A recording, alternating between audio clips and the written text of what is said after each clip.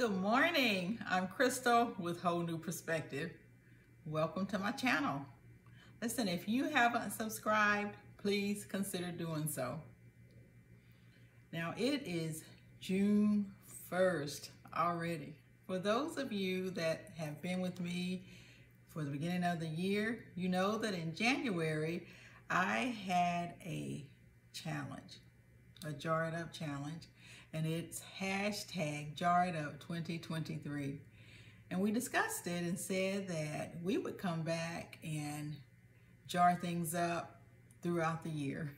Now is the time for many of us to get our produce and start jarring up again. But one of the things I want to make sure that you do, and I discussed this in my live stream this week, I want to make sure that you have a canning plan. Yes, have a canning plan. It's very important. So one of the first things to do is to know what you want to can. Then you need to know how you plan to preserve it. Know what you want to preserve and know how you want to preserve it. Now, one of the things, one of my favorite books you all know is this book, this is where I get most of my recipes uh, for canning is the Ball book. There are numerous other books out there, and I have several, but this just happens to be my go-to book. So listen, once you know what you want to can, you start to make your plan. You want to make sure you know if you need your pressure canner. I have several pressure canners, a couple Prestos, and an All-American. And guys, make sure that your canners are in good working condition. Especially if you haven't been using them throughout the year, make sure that they're in good working condition. If you have a canner that needs sealing rings and an overpressure gauge, make sure that you have that. Always have extra on hand. And that's the one thing that I discuss in my live stream again, because I also, when using my uh, Presto, I noticed this was some time ago that it wasn't getting up to pressure. Now I have had my Presto and I've used mainly my Presto for, I guess it's going on 15 years now. But after a, after a while, they do need a new sealing ring. They need a new sealing ring and an overpressure gauge. So make sure you have that in, in I almost said in stock, but make sure you have that at home as part of your plan, okay? Make sure once you know what recipe you're gonna use, know if you're going to use, if you have jelly or jam, if you're using pectin, uh, that type, or if you're using a liquid pectin, make sure that you have those things in your house. Make sure that you have all of the jars that you need, all of the lids and rings that you may use. Make sure that you have that. Just stock up on everything that you're gonna need throughout this canning season. And you'll know that if you sit down and make your plan. So are you pressure canning, water bath canning? Are you dehydrating, fermenting? Are you freezing? So even if you're freezing, you need to make sure that you understand if you'll need to blanch whatever you're freezing and make sure that you have those freezer bags as well. So I have my plan put together and I'll say this, if I find other deals throughout the year, my plan changes. And so I always have extra jars and lids on hand for that purpose. So you may want to think about that as well.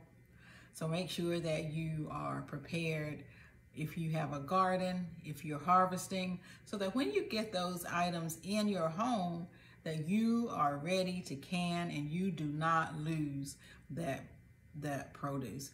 Right now is a good time to secure food for your family because it is out at the farmer's market. The farmers have them. So if you go to the farmer's market, get to know some of your farmers there Go to the same ones over and over and over. Ask questions, find your favorite one, and then they'll get to know you as well. And you can get your deals, and you may be able to get better deals like that, okay? Now, if you have a stove like I do, I have a glass top, a smooth top, uh, and I do not pressure can on my glass top.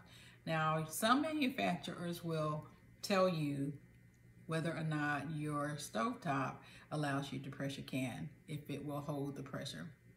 Uh, mine does not tell me. It does tell me about water bath canning. So I'm not taking any chances. Just so those of you that have been with me, you know that I do can on this Cadco. So if this is something that you're interested in, you need to make sure that you have this Cadco as well. And most everything that I have, I'll link it down below so that you can see it. Now I do use this Cadco for my pressure canning. I purchased another one, I think it was last year or the year before, so that I made sure I had a backup. But this one I've used for, uh, I guess roughly 15 years and I haven't had any problems with it. And so I, the one that I purchased for a backup, actually, I started running two canners at the same time. And so that was helpful for me. Again, make sure that you are prepared uh, for this canning season. If you have your garden, make sure that when you get those items out that you know what you're going to do with it, okay? And if you have any questions or if you need any help with your canning, just leave those questions down below or leave those comments below. Now we're getting ready to jump right into this canning and I want you to start using the hashtag JarItUp2023 again so that we can all see what we are jarring up and see what we are canning. If you would do that, that would be great. And also go ahead and uh, just tag me on that so I know that you have participated. And really, again, this is just a challenge uh, for us to challenge ourselves to can and get food prepared and put away for our family because we don't know what is to come, but that's really just a natural way to have food and a natural part of preparedness. My mom did that, you know, when I grew up, and that's what we ate throughout the winter. Mm -hmm. I don't intend to put a video out every day like I did back in January because this is a busy season as well. I do have a container garden. I have some videos of that. I just haven't updated those. So I will be mixing some of those videos in and out along with other ways of preparedness. We do need to make sure that we are stocking up. Mm -hmm. So go ahead, get prepared. If you have any questions or comments, uh, please leave them below for me. I appreciate you guys watching. Again, if you haven't subscribed to my channel, please consider doing so. And please give this video the thumbs up and like this video. So thank you guys once again. I appreciate you. I'll see you on, I'll see you soon.